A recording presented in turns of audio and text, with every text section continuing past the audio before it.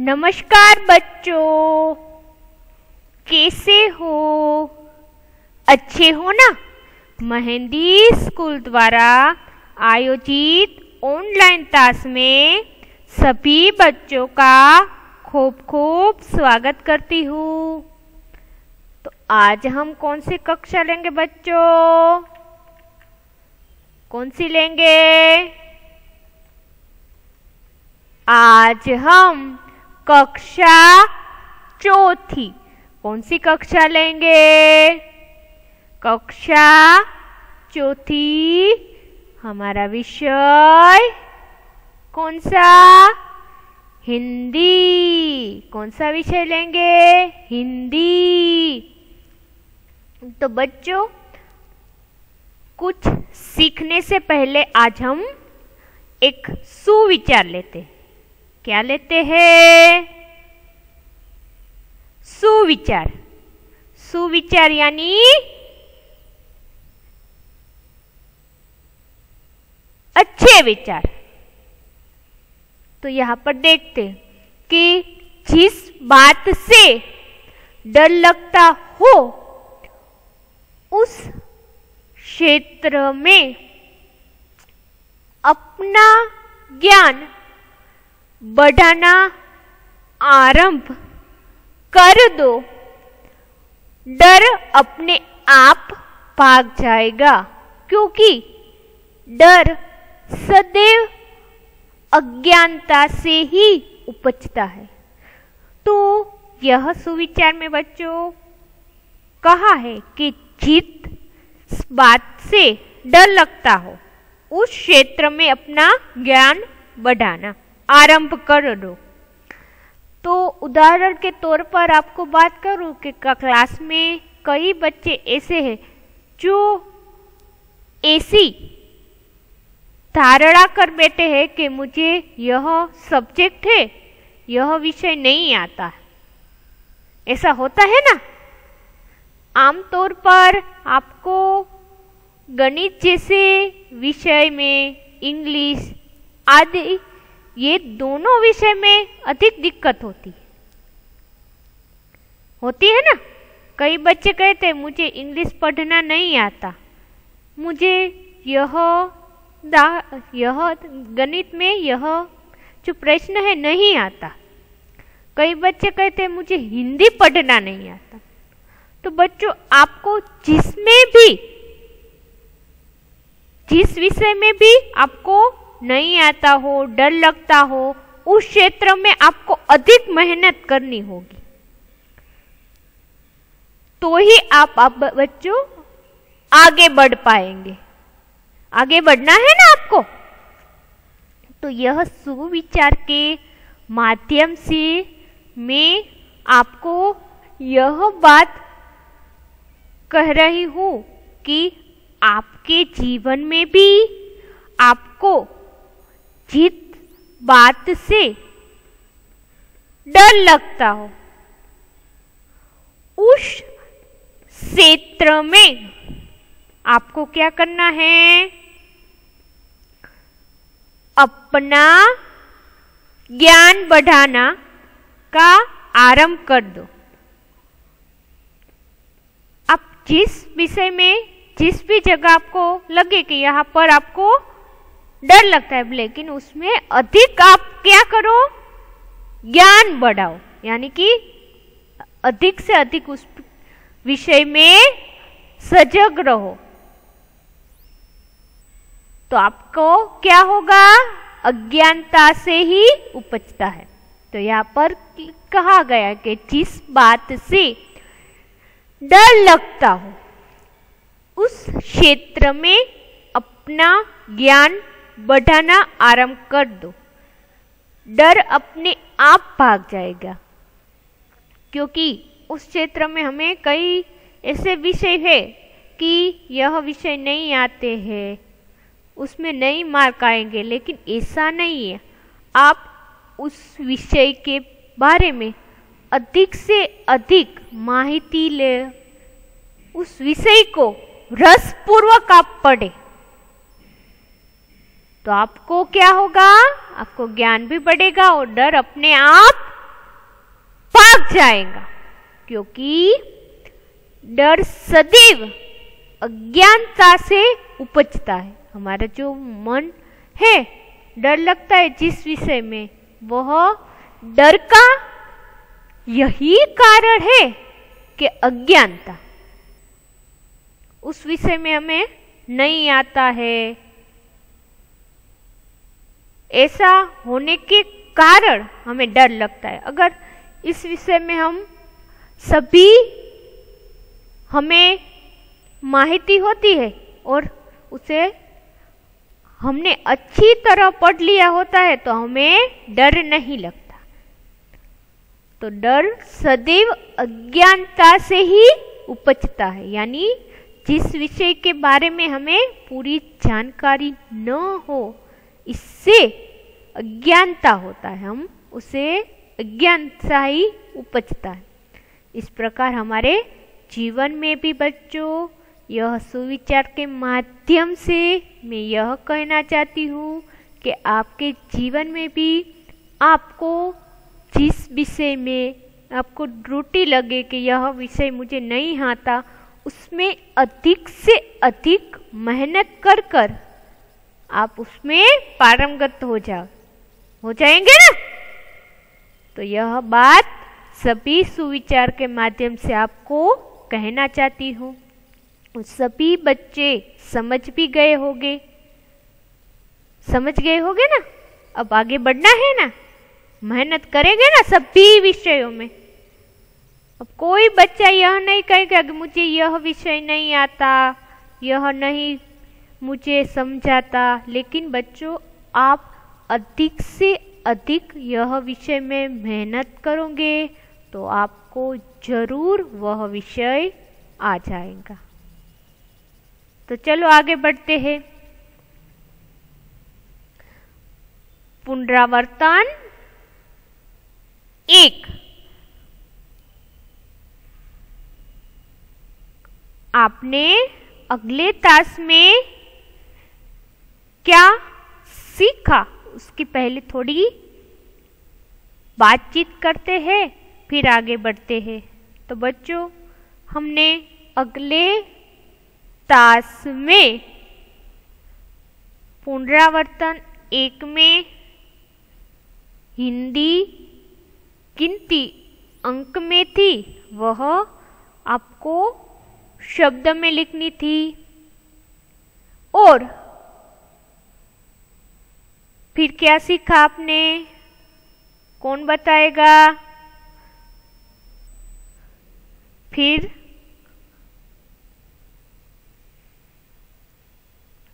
फिर हमने चित्र देखकर नीचे क्या लिखना है? चित्र आधारित शब्द लिखना है। कि चित्र में क्या दिया हुआ है, वह लिखना है, वह सीखा था सीखा था ना? कई सारे चित्र भी हमने देखे थे। देखे थे ना? कि यह चित्र को क्या कहते हैं, यह चित्र को क्या कहते हैं? तो यह चित्र देखकर नीचे शब्द पूर्ण कीजिए। किया था ना हमने? तो चलो आगे बढ़ते हैं।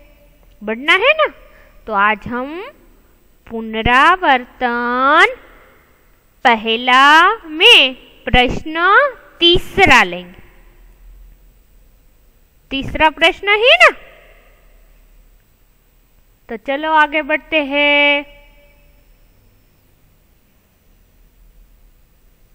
आगे देखिए कि ऊपर के चित्रों के आधार पर पाँच वाक्य बनाइए और लिखिए। क्या करना है?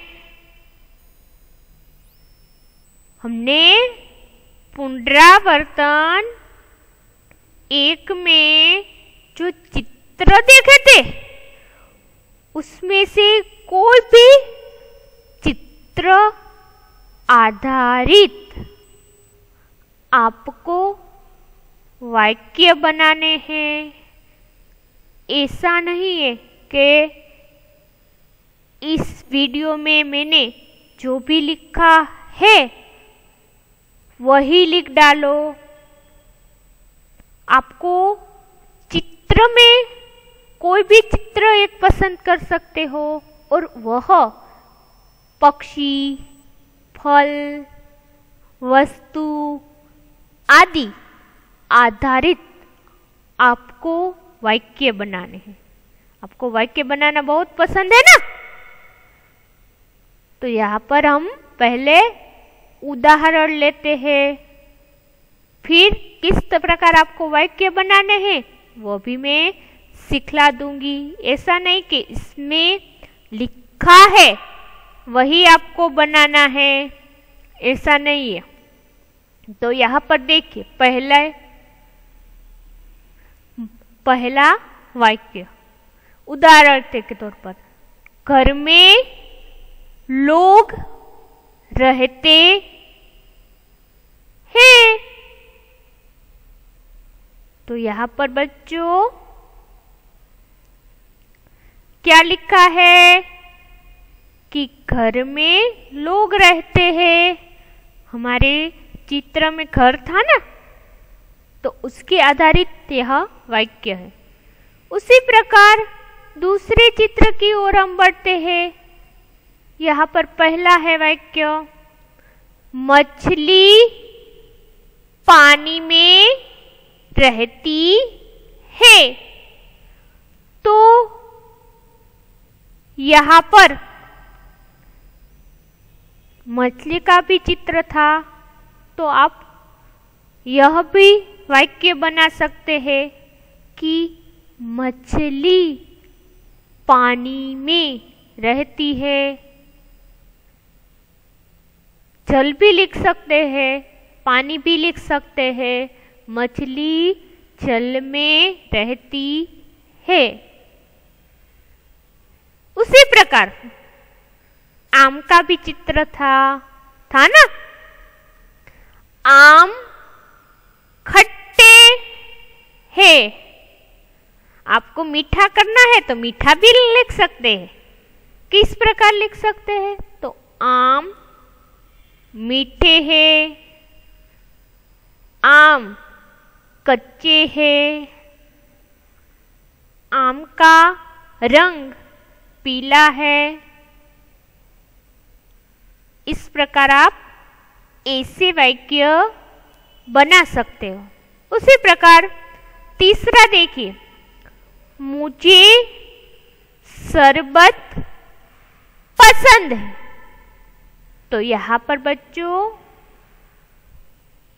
शरबत का जो चित्र था ना, मुझे शरबत पसंद है। तो इस प्रकार इस ऐसे भी वाक्य बना सकते हो कि शरबत का रंग हरा है। अब चौथे वाक्य की ओर आगे बढ़ते हैं। तोता हरे रंग का है। तो यहाँ पर तोते की बात की गई है कि तोता हरे रंग का है।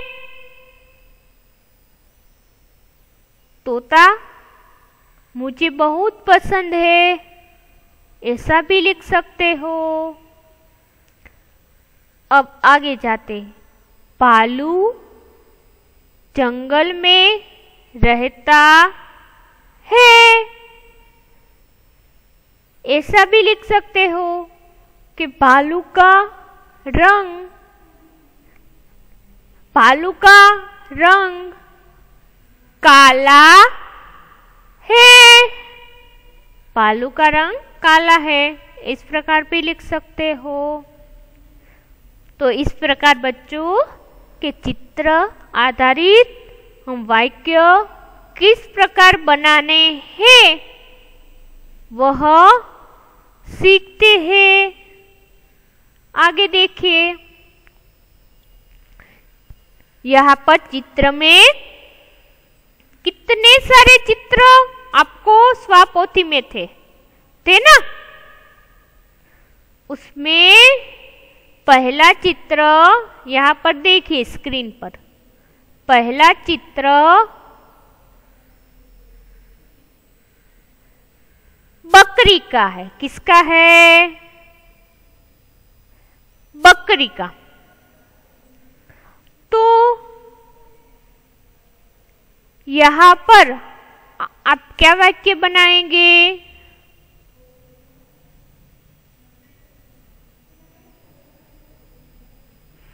कौन बताएगा?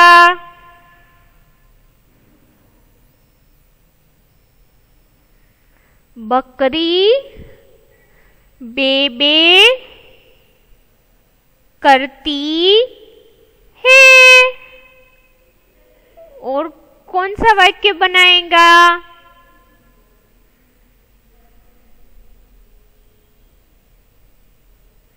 मेरे घर के पास बकरी जा रही है ऐसे भी वाक्य बना सकते हो।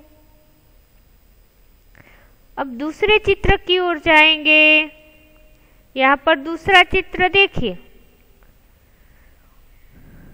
ढोलक का है। तो ढोलक से आप क्या वाक्य बनाएँगे?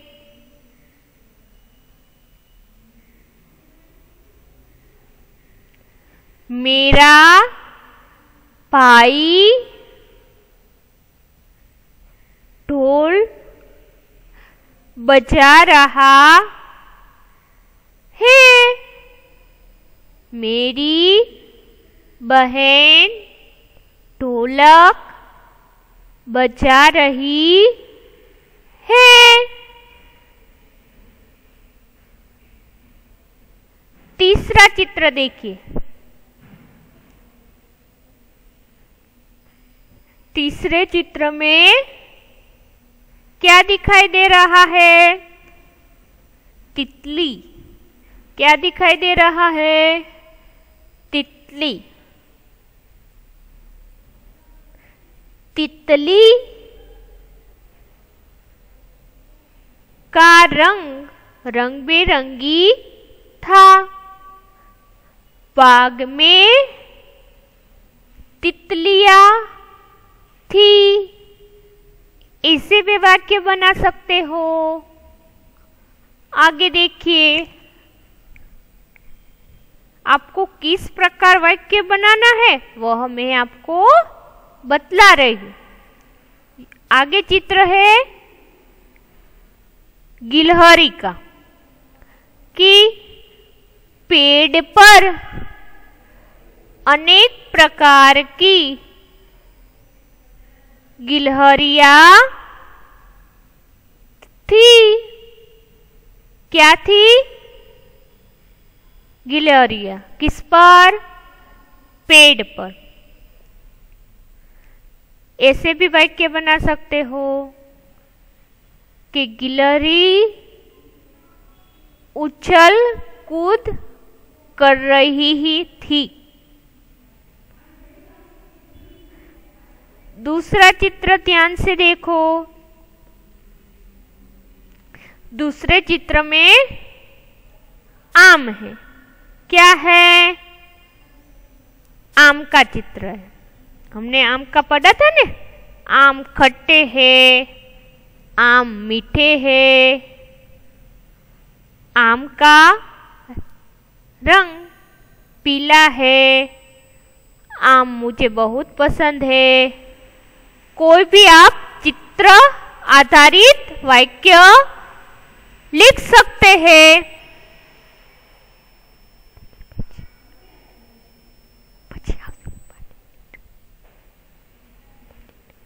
तीसरा चित्र देखिए। तीसरे चित्र में नींबू है।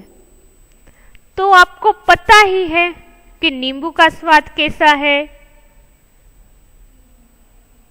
कैसा है? खट्टा है। तो आप ये भी लिख सकते हैं कि नींबू का स्वाद खट्टा है। नींबू का रंग भी लिख सकते हो कि नींबू पीले रंग का है। फिर क्या लिख सकते, बना सकते हो वाक्य? नींबू गोल है। इस प्रकार आप अनेक प्रकार के वाक्य बना सकते हो। बना सकते हो ना? तो इसी प्रकार आपको चित्र आधारित क्या करना है? वाक्य बनाने। बनाएँगे ना? आगे देखिए। वर्डों को पढ़िए और लिखिए।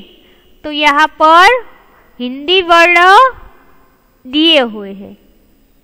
तो उसे क्या करना है? देख देख कर पढ़ना है। क्या करना है बच्चों?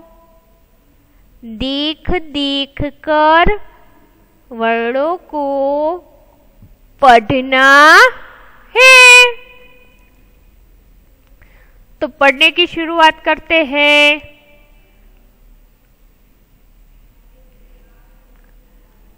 क उसके सामने क्या है? फ, क और फ दोनों वर्ड में फ़र्क है। उसी प्रकार प, य ट ड ठ ढ, म, भ, ध घट यहाँ पर, यहाँ देखिए, घ, और ध है। यहाँ पर, व, और च है। यहाँ पर, ल, और च है, यहाँ पर श और य है। तो यहाँ पर आपको बच्चों, वर्णों में जो फ़र्क है, वह आपको समझने के लिए यहाँ पर आपको देख देख कर आपकी स्वापोती में वर्ण लिखने हैं।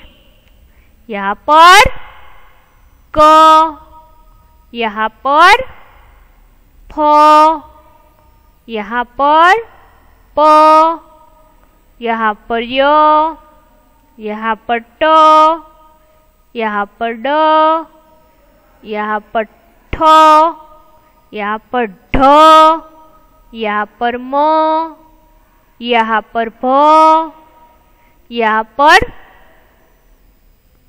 घ यहाँ पर ध यहाँ पर व, यहाँ पर च, यहाँ पर ल और यहाँ पर ज और आखिरी में श और य है। वर्णों को उसमें अलग वर्ण में उच्चारण में और लिखने में अलग है।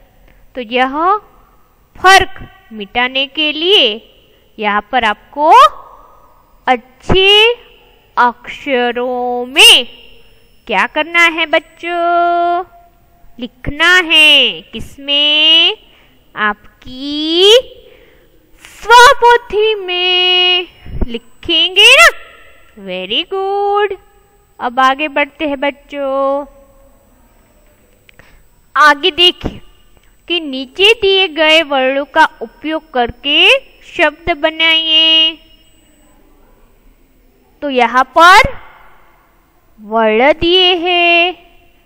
उसके आधारित उदाहरण के तौर पर शब्द दिए। क्या दिए हुए हैं बच्चों? शब्द। तो यहाँ पर शब्द दिए हुए। क तो क से कमल, क से कमल कमल से आप कोई भी शब्द लिख सकते हो। कौवा, कछुआ, कलश, इस प्रकार आप कोई भी क से लिख सकते हो। आपकी सहेली का नाम क से हो तो वो भी लिख सकते हो। कैलाश, कबूतर, काजल इस प्रकार लिख सकते हो आप।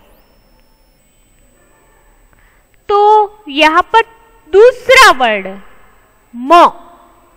कौन सा वर्ड है? म। म से